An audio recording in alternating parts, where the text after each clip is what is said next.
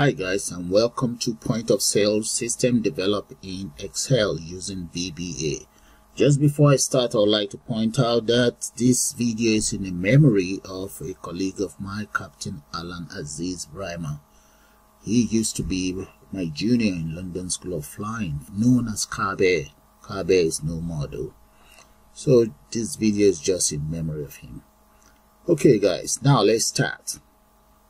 This is a point of sale. This point of sale was actually at the request of one of my viewers out there. And uh, this is what I've just put together for him. So let me just show you guys how it works. I'm going to reset. There we go. And there we can select the item that we want. Okay, and you can also see the barcode for each of the item that we're selecting. Okay there we go.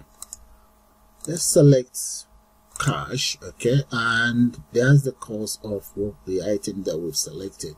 And i'm going to go for since it's cash let's enter whatever amount in there 40 pounds 20 that's fine. So click on pay. There we go and that's it that's my change okay?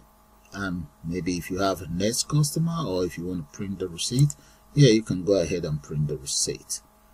All right now i'm going to reset. Let's go for more customer. And there we go guys. Click on maybe direct debit. There we go and click on pay. There.